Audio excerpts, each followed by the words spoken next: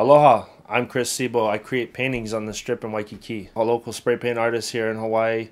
Looked for locations and tried many places, just so hard to find a place that can handle the crowd that we generate when we work, you know.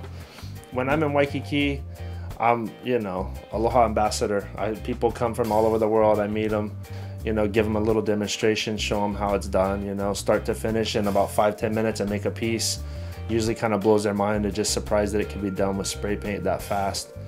You know, most people have only seen graffiti done with the spray paint or their lawn chair outside. So when I'm creating my art, I, I put myself there. I picture myself sitting in the painting, looking into the painting as if I imagine there's a wave here, a wave there, the sand's coming about right here, the bushes are here, you know the mountain is coming down here as it's fading into the distance. I just try to put myself there. It makes it easier to bring it out as i see it to imagine it being there. And blocking out everything around me focusing on what i'm trying to create and uh, just looking at it as i'm doing it as fast as i can. And i lay down layers of colors and then smear it manipulate it with newspaper poster boards.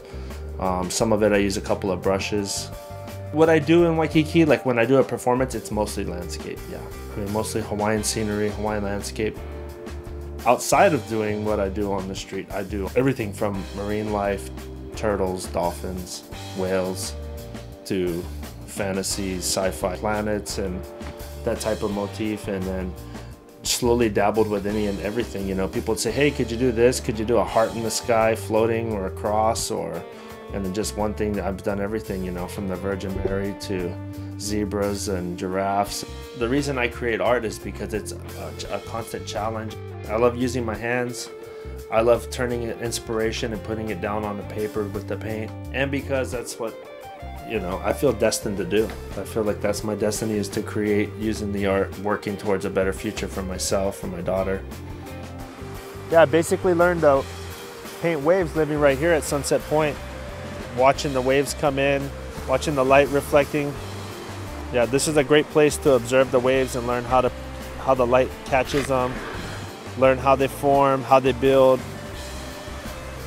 Yeah. If I hadn't lived here, I definitely wouldn't have learned to paint waves the way I do today.